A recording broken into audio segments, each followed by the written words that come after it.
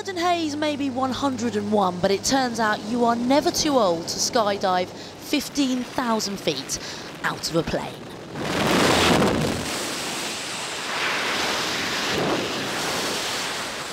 Waving most of the way down as Verdun broke the record for being the oldest person in the world to skydive.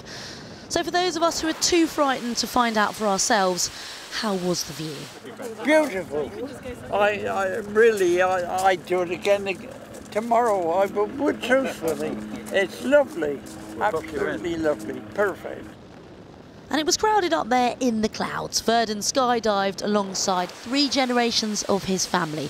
But before the jump, the D-Day veteran said he wasn't nervous at all. I've been a bit of a daredevil in my lifetime and uh, doing one thing and the other I shouldn't have done when I were younger, but uh, I, I love it. I wasn't worried in the least. The fall is the best part before the parachute opens.